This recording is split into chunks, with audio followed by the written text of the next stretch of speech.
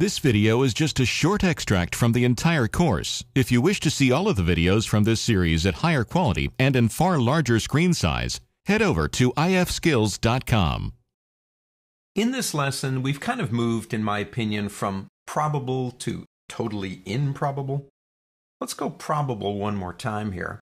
Open up these two images in your exercise files. Custom, hold the shift key down and select lens correction. Double click and they'll both open. Here we go. Let's start with lens correction right here. If you notice, there is a problem with the image itself based on the lens that I used to shoot it. It's a little bit out up here. You can see it down here. Train tracks aren't nice and straight. The cool feature in this program that allows us to fix this, assuming the lens is known.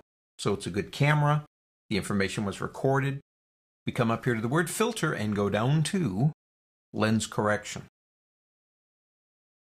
In lens correction, we have an auto correction feature right here, geometric distortion, chromatic aberration, vignette. Some lenses have a tendency to darken around the corners, and that'll solve that problem too. We have a scaling option. The camera make is a Nikon. Now, if you have your camera model here, you can choose it. And if you know the lens, you can choose it. However, if you're not sure, just make sure it's on the make, Nikon, Canon, etc. Now watch what happens to the image when I turn on the preview. See how it corrected it?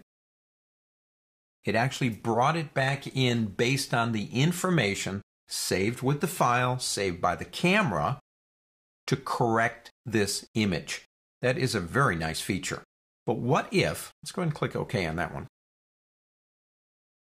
What if you don't know the camera? So let's go to this one, custom JPEG.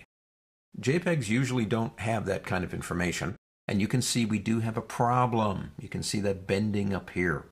Let's do this. Let's go back in. Let's go down to, once again, lens correction. In lens correction, let's go into the custom tab.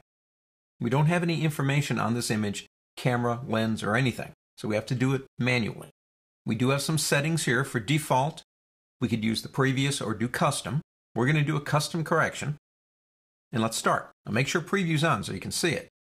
Here's the distortion for geometrics here. And if we click that, watch the image.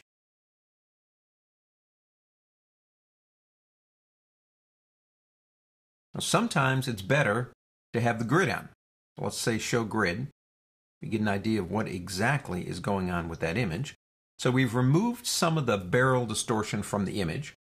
We do have chromatic aberration features here if we think this lens caused that problem. We have a vignette feature. Let me show you that one. Actually, let me turn the grid off again here so you can see the image real good. See how it darkens or lightens those edges. Some lenses fall off on the edges, and this will help. This is the midpoint for the vignette. We do have a transform in vertical and horizontal perspective. So if we pull vertical here a little bit, say this way, it's like you're raising the camera. And you could go the other way too if you want to. You also have angle, if you want to put it at an angle. Notice what it's doing though. It's recropping the image to fit the space. So it's enlarging it or it's making it smaller based on what you want to see here. Let's go ahead and look at scale, which is almost like telephoto.